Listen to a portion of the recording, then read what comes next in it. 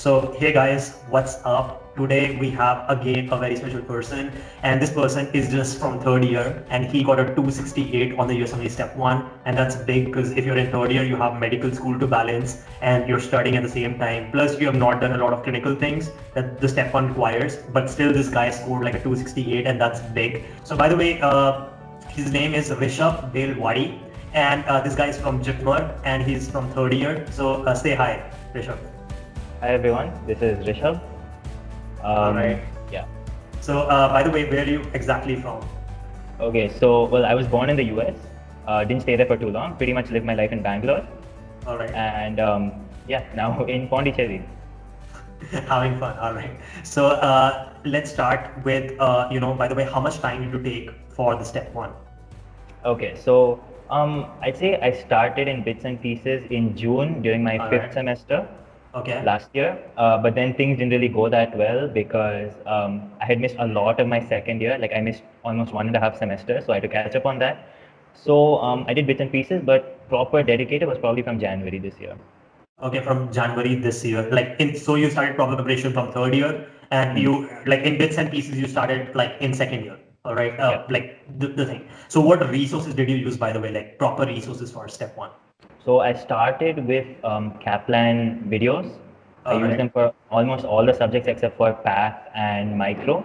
All right. Um, and then I used pretty much the standard resources, Pathoma, I use Sketchy Micro, um, the first aid book, Absolute Gold, um, the UL question bank, and the Amboss bank, plus all the practice tests as well.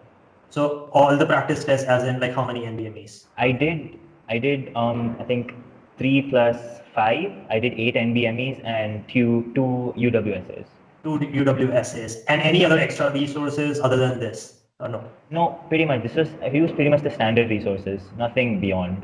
All right. And uh, so, like, when you started your prep, let's say you started in second year in bits and pieces. So, like, take us through that, like, you know, from the start to the end, like, uh, till like the day of your USMLE, like, how did it all like play out from the start? Okay. Okay. So I started in around June. I got this sudden feeling that okay, I want to do something useful. You know, I don't want to just continue with the way the you know the Indian education system isn't. You don't. It's not really practical enough, right? So um, I started then. I there was actually this In um, second year. thing- in second year. Yeah, yeah. Yeah. There's this thing called Becker. Okay. Um, so I just I kind of started with that. That was the bits and pieces thing. I started. I was doing maybe around two to three hours a day, kind of mixing it with. I was playing cricket. I was playing basketball. We had college fests and everything.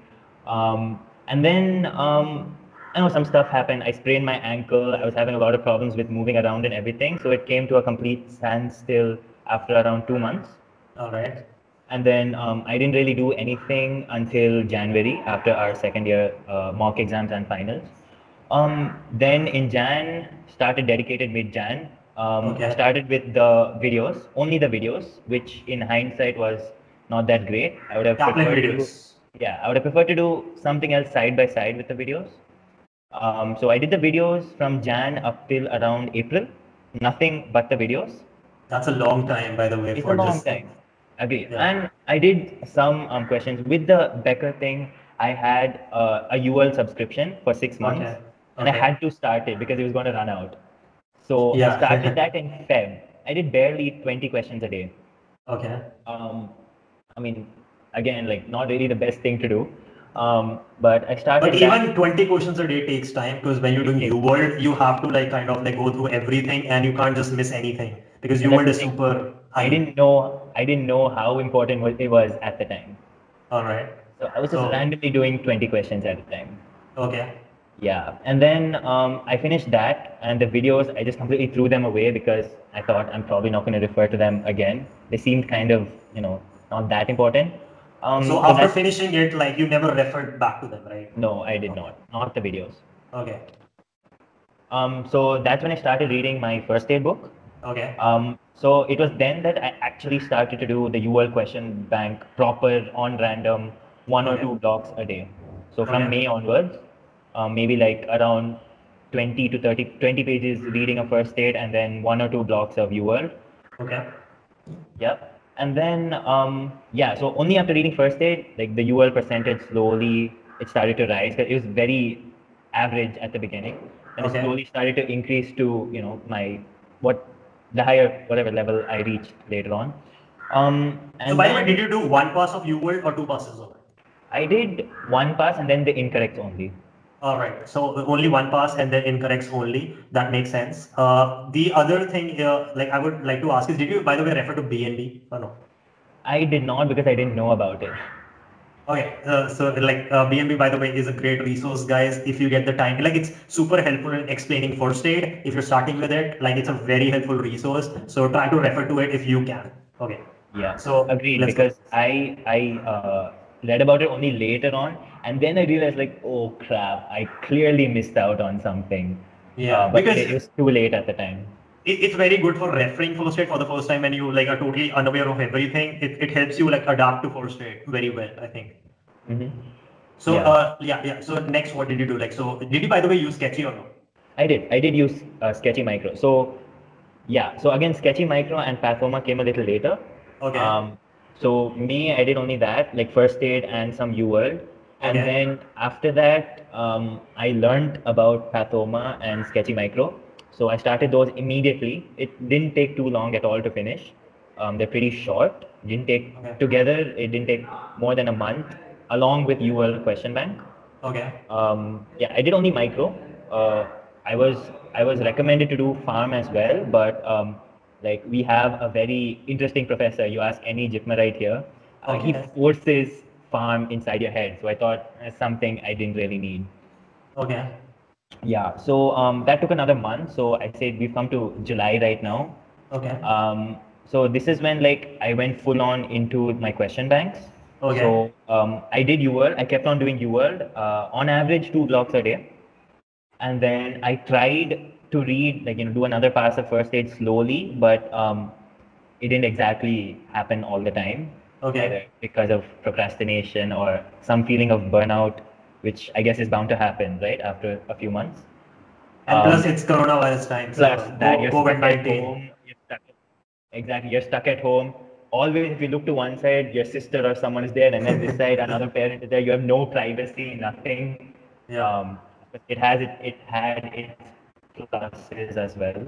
Okay. Um, but so it was that full-on question banks. Um, I was recommended to do to try Anki. I had never tried it till then. Um, yeah. So did you try Anki or no? I tried it. I absolutely hated it. Because uh, like why? Like did it take too much time, or you were like, Um, I don't think it took too much time because it's just pretty factual. You know, Okay. like you can chuck, chuck, chuck. You can go through each card, but um, I just I didn't feel it was high yield. You know, because after doing all those questions, you have an understanding of what is important and what is not, and it was very memorization based, which is something I felt wasn't needed that much. okay, so uh, like you tried it. You use the Zanki deck, is it or no? I've tried Zanki, I tried Anking, I tried something called Soze. I tried everything and liked nothing.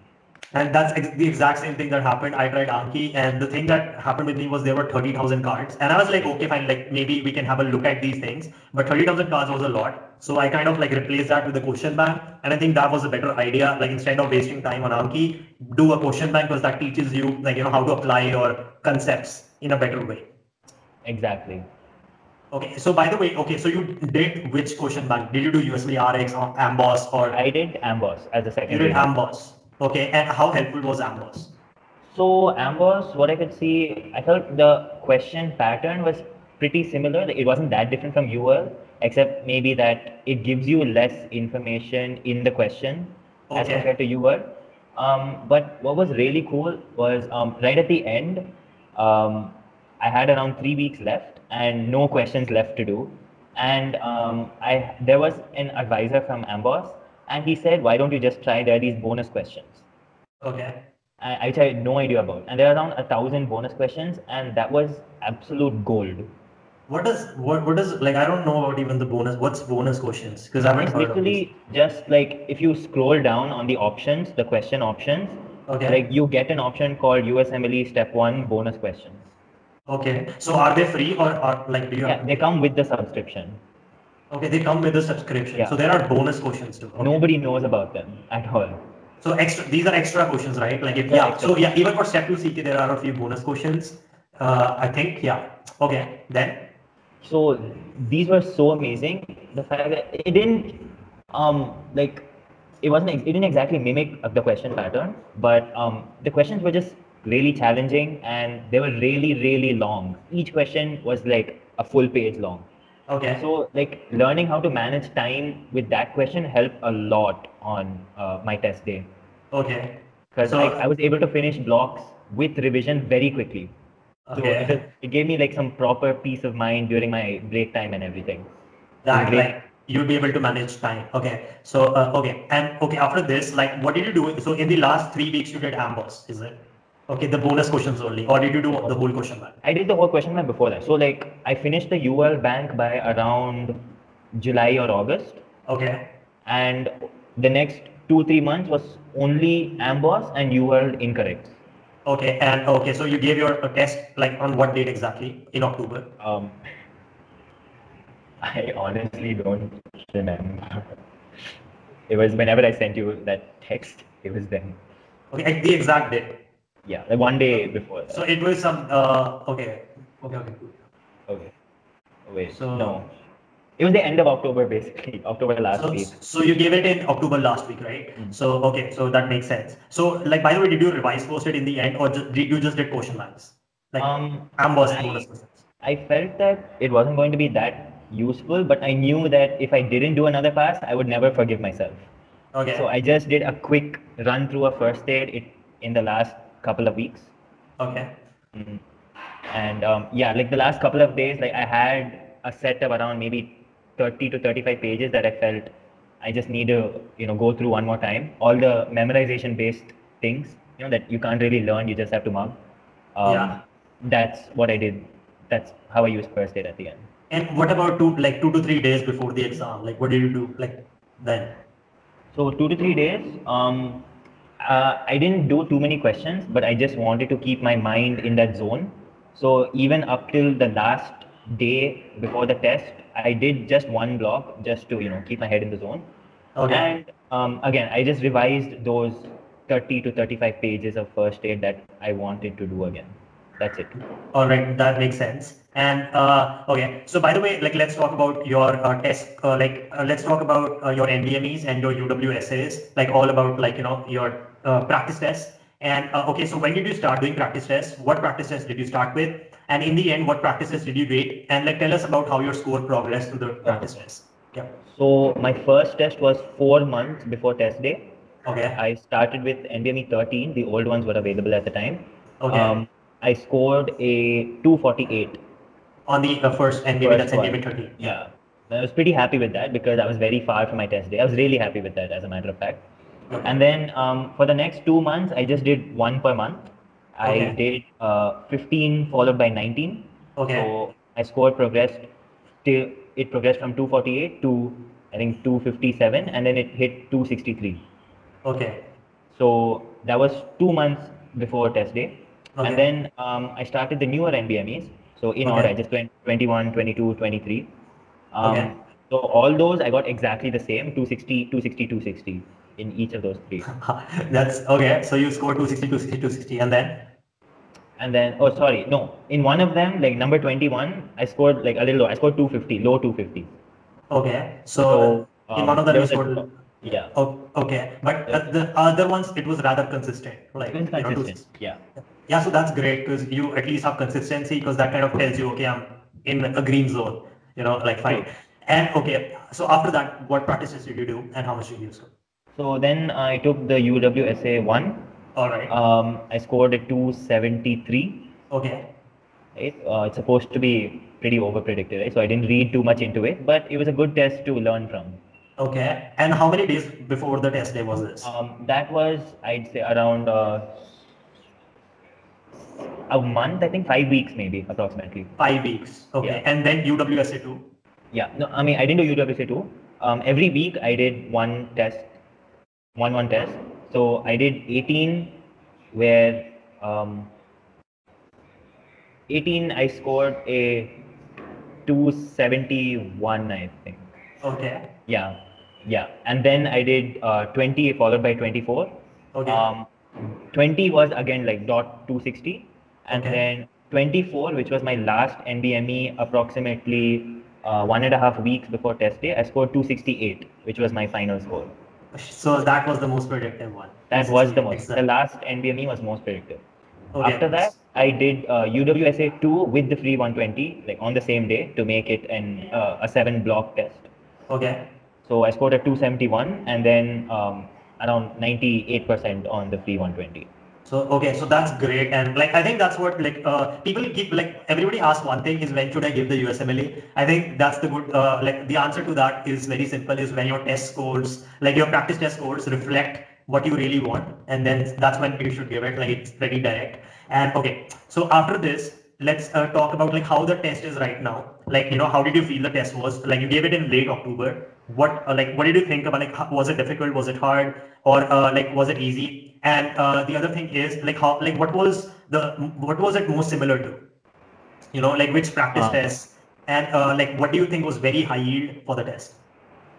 Um, so it's a little hard to say. Uh, Okay. Like whenever somebody asks you what was high yield, I'm sure even you you can't really directly say what was high yield. right? Like, but in, in a broad term, like what Yeah. resource was like, you know, oh my god, this Okay. is such a game changer. Um, see, like out of everything, obviously question banks are the most important because I can tell you 90% of my learning was just the question banks. Forget the videos, forget first aid, everything. In terms of the question pattern, I'd say um, it was probably like 60% of the questions were like UWorld. Okay. Another 20% of the questions were like an NBME, like very Okay. direct, factual based. And Okay. the res- rest were kind of like amboss, a little more challenging. You know, you have to actually think deep, um, you know, try to put pieces together and get the answer. Yeah. Okay. So uh, that makes sense. And uh, by the way, how was your test day? Like, what did you uh, like? How did you feel? Like, like, and uh, you know, how much time did you take per block? Because with me, what happened was I literally took for one block. I took about forty to forty-five minutes, and in the like next fifteen minutes was like I went through my marked questions. I was like, okay, did I choose the correct answer? Like, how was it with you? Like, I at least had ten minutes in in every block to check like how it went. Yeah. Um, it was well. I mean, honestly, test day from the beginning till end, I felt amazing because I just felt deep inside. You know, like I've done as much as possible. Like whatever happens, I will like leave it up to God. Right? I put in my effort. Now let whatever happen happen. Okay. So um, what was good was my first block went like really quickly. I finished it with um with uh like I went through every single question, not just the marked ones, Okay. including that. I finished it in 48 minutes. So twelve minutes to review like your choices. Yeah. Um, yeah. So 12 minutes left and everything done, like block over. Okay, So then- just knowing that 12 minutes was added to my break time made a massive, massive difference because I didn't have to rush anything from there onwards. Even if I felt like taking a few minutes extra break time in between blocks, it was no problem. So and was was it the same with every block? Like you had time or no? Uh, no. Uh, lucky for me, it was. I mean, it started like that for in my first block, and then from there onwards, I did finish with a few minutes to spare. Like with revision, I had around three to four minutes left. Okay. Um, except for uh, one one of the blocks, I guess it went till the last second with revision of Okay. every single question. So um, I didn't review just the mark. Um, and then the last block, I was kind of like super excited. Almost done. Nine months. Same, test- same here, same here. I was like, I was over. so jittery. And like till then, each block I had maybe maybe seven or eight were marked per block, and just in that last block, twenty were marked. I'm like, Okay. shoot, I don't want to mess up this last block. And then we it got over, time got over, and like no use thinking about it. So Okay. Yeah. Aren't you the happiest like when it ends? Like you, you've given such a oh. long exam, eight hours, and you're like, oh my god, I just went through like a, a massive experience in my life. Like eight hours is like a big time, you know, for just an exam. exactly, I was so happy. Just came out. My mom was you know waiting in the hotel in Bangalore. You know Bangalore Yeah. traffic, right? You have to go stay. Yeah. I mean, like, I had to, even though I lived there, I had to stay in a hotel nearby because it was really far. Um, On, all right.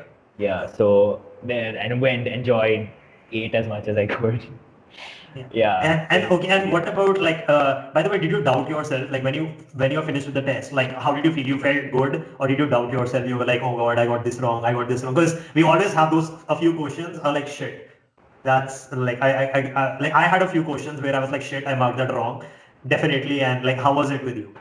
So, um, like, many people I spoke to before the test, they told me never ever Google your answers between blocks, ever. Yeah. And I could not stop myself. Each between each block, I opened my phone. Like, should I? Should I not? Okay, fine. And then I Googled the answer. So I knew exactly what mistakes I made in each block. okay. Um, so yeah, but there were there were particular questions which um, I don't think I'm at liberty to discuss because Yeah, um, yeah.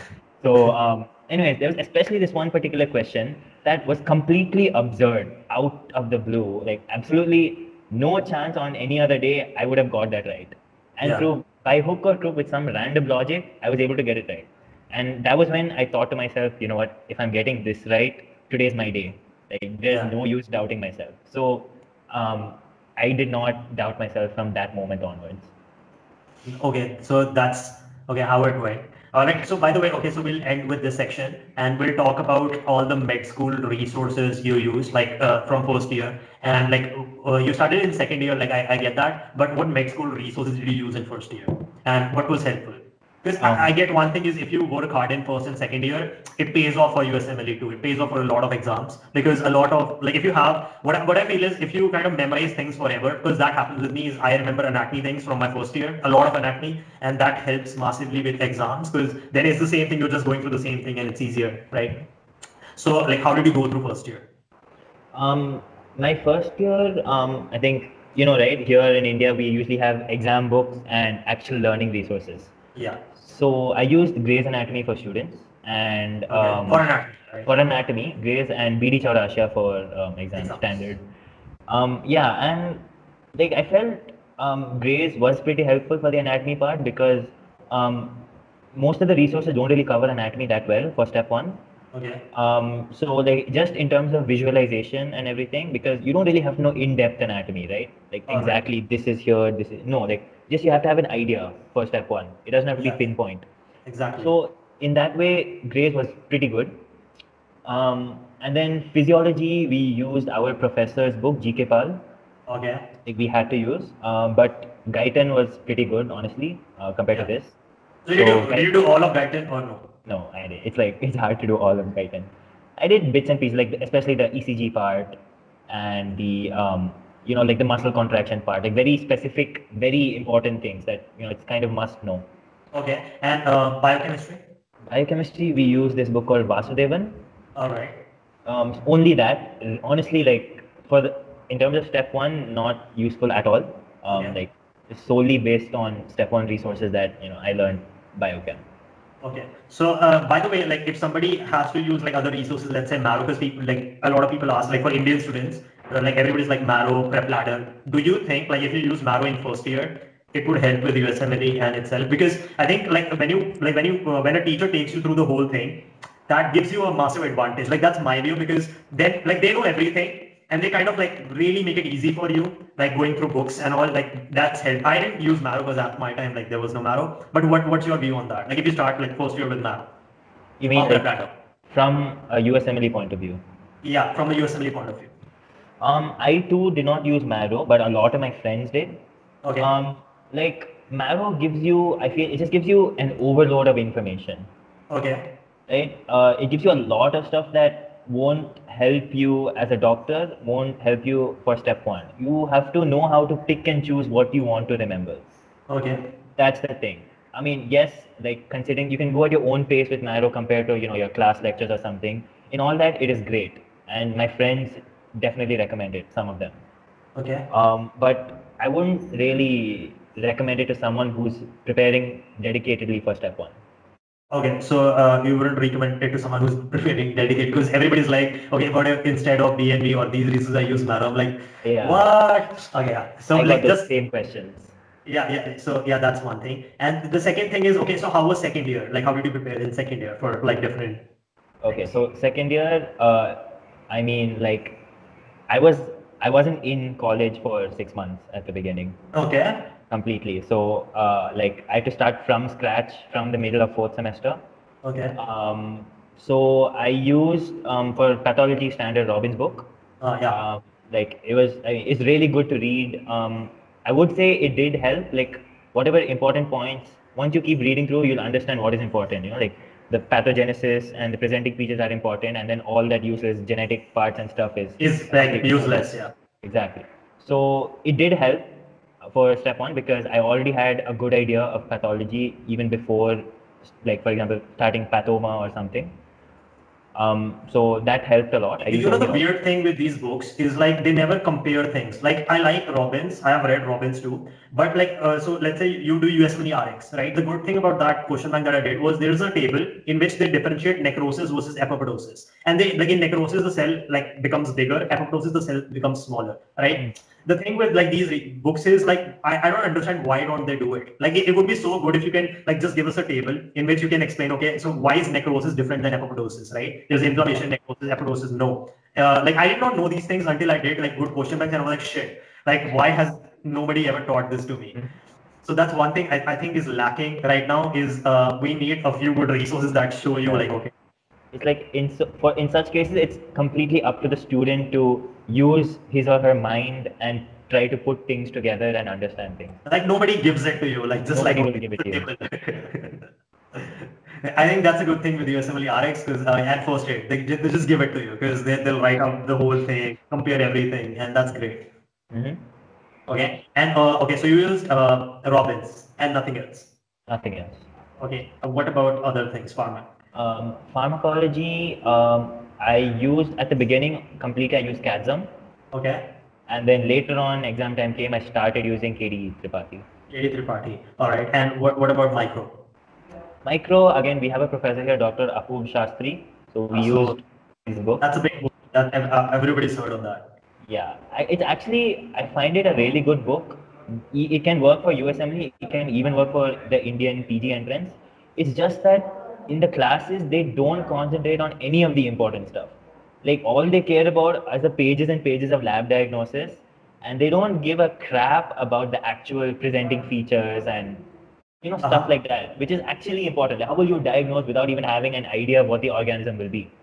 Yeah, that's important. Like, I think that's what like in, in India, microbiology doesn't teach you is that thing. All they care about is how does it look? How does it like you know in the microscope? How does it look? What Exactly. kind of they don't like teach you what's actually like like you know what happens with this organism. What features will you see? That USMLE focuses a lot on. Okay, Yep. all right, that that makes sense. Okay, so uh, uh, like in the end, like let's just like discuss about like uh, what would your advice be to somebody who's starting USMLE, like prep and like in, in first or second year, because that's a very everybody's like, okay, I'm starting in first year, second year. How do they start? And like, what would your advice be? So um, what I told my juniors as well is um, like at the beginning it might be a little difficult, but later on, like towards the end of first year, beginning of second year, it's just about starting to think more like a doctor and not a student. More like a Right. yes. Yeah. So it's like whenever you read through the books, like okay, yes, like even anatomy, basic anatomy, you can memorize a lot of things. Like this is here, three centimeters this side, you'll get this, and then this and this. You can memorize all that. But you know, think like a doctor when you're you know actually going in and cutting open someone. Um, you know what? Just think in your mind what you're going to see first, what you have to do, like cut here or go there, what you'll have to push this side. It's about thinking. Even when it comes to pathology, pharmacology, um, it's about putting all the subjects together because when you're practicing, it's all together, right? It's not like you know one person will diagnose and then you go to the next door person, pharmacologist will treat. It's not like that. So it's all Um, about integration. I think that's a big for USMLE is integrating multiple subjects because that's how they ask questions. Like if you think about it, like they'll ask you not about like okay, let's like uh, there's a drug called fidaxomicin, and the way it works is it's a RNA polymerase inhibitor. They would not tell you like okay in a question how does fidaxomicin work. That's a neat question. In USMLE they, they would ask you is okay so there's a person who has uh, Clostridium difficile like they won't tell you it's a Clostridium They won't even tell you that. Yeah. They, they'll just give you a presentation of it, and then you'll be expecting, okay, like everybody thinks Vanco, like Vanco is the answer, but you wouldn't see Vanco in the question, and you'll you'll be like, it, it's like it decreases RNA, like you know, decreases the production of RNA because that's how RNA polymerase uh, works. Yeah, that's how it works. So you wouldn't even see RNA polymerase inhibitor. So like those, those are the kind of questions they ask, like multiple integrations, because here they're integrating with uh, let's say medicine, because medicine uh, is all about presentation of things, and then they're integrating with pharmac. How does like fidaxomicin work, and with biochem, because RNA polymerase, like so three subjects integrated into one. So that's how USMLE works. And what else? Like what else would you advise? Another thing I would really tell someone to do is um, from second year onwards we have uh, clinics, right? Yeah. Um, so like like you can honestly just screw the lectures. It will won't help at all. But like you Alright. should really really go and attend. You don't really have to um, wait for the consultant or someone to come and teach you. Like if you Uh-huh. actually go, just talk to a patient. Um, just you know try to examine the patient and then read the chart. Like you can learn so much and that honestly helped me a lot for step one because like in one and a half years i've seen so many cases because you know here the, the sheer number of cases. Um, any any disease you want you can pick it up like the rarest Okay. of rare diseases. Um, so that's something that students should do like don't go to clinics for attendance because that happens a lot of the time And Right. wouldn't you agree that in clinics, like uh, like you can read good books? So like there are books like uh, for clinics too. Uh, I don't know, like if you use those, like what books did I use? Like I used a lot of books. MacLeod, Hutchison. Exactly. Like, but there are other ones. Like, what do you call that? Like, there's a book called Kundu. I don't know. Like, I even like those because they're good review books for clinics. And like, I, I did a lot of clinical books, uh, just like uh, because like even for like surgery, I did a lot of clinical books because I wanted to learn. Okay, what like like indirect versus direct hernia. You know, how do you differentiate? How do you what tests like do what? And I think that's so helpful for USMLE because it's like more clinical than people would think. Like it, it's very based on fourth year too. Like it has medicine, surgery, a bit of those, like a lot of those things, a lot of medicine actually and like doing those uh, like clinical things like helps you massively because then you're like okay i know okay how to differentiate these things i know like you know what how the progression of a disease is like a, a lot Exactly. Yeah. Okay uh, so uh, so that's it. And by the way like one more thing this is the uh, last thing is uh, like so like a lot of questions you don't know the answer to. Like you know like if, you're going through USMLE you never know the answer to everything. Like how how do you do that? Like how do you solve a question when you don't know the answer? Like because uh, that's what i think differentiates people who score very high. Like i really feel so because i had that ability too because when i used to go through uworld i used to solve questions that i didn't know the answer to based on clues in the question so they will give you okay this is normal physical examination is normal that says a lot of things meaning you know when they did like a pulmonary examination that was probably normal okay so how do you do that Um, yes, uh, picking up clues is important. Um, Okay. But it's, I think a lot depends on, you know, like you shouldn't get bogged down when you see such a question. Like, Uh-huh. You need to have a lot of self belief. Like, I've, you know, like if I am not able to answer this, that means, okay, a lot of people too aren't able to answer this. Um, so, like, you know, like I have faith in myself that I can find the answer, even though I have absolutely no clue right now. Just Uh-huh. giving it that few extra seconds or looking at it from a different angle. Um, yeah, because usually even such questions you can still rule out two to three options. Yeah, you can like at, at least increase your chances of getting it right. Because like if you have like have like five five options and you're confused, you're like uh like you know you have like a, how much like twenty percent chance of getting it right. And if you can take out let's say two three options, that increases your chance of getting it right. Even if you don't know it, at least you you have a better chance of getting it right. right? Exactly. So So, so that's yeah. super important. Yeah. And by the way, how many questions in the U- in USMLE you didn't know the answer to? Like there there must be questions like how many questions were there? Um, which I had absolutely no clue. not absolutely like you were not sure about like was a few questions you're like absolutely okay this is the answer a few There questions you have to rule out Mm. rule out definitely quite a few questions that I had that I doubted myself. yeah Um, but like after doing all those practice tests and stuff, um, like there were so many questions where I would just kick myself. You know, I would put an option and then overthink and then change. Yeah. So for this one test, I just promised myself I would not overthink. Whatever my first choice would be, I would just go with it, even if I felt like changing it later, because I knew more often than not that would be the right answer. Um, but um, there were quite a few. I can't put a number on it, like a lot. But absolutely no clue. I counted around five or six. absolutely no. genuinely no idea.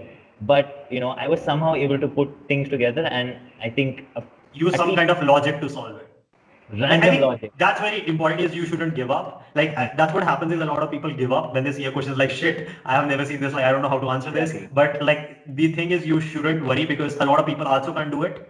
And uh, right. like uh, they don't sorry a lot of people also don't know the answer. And it's all about like there, there there must be a clue in the question that helps you answer it. Because that's how it works. Every question is solvable and they will give you clues to solve it and you just need to take that chance right? Exactly. so uh, okay so we are done with that so uh, by the way we uh, thank you guys for attending and have fun and by the way all the best for your USMLE step one so okay So guys, if you like this video and you would like to watch more videos about USMLE and medical school, a subscribe to this channel would be amazing and a like would be amazing. Thank you.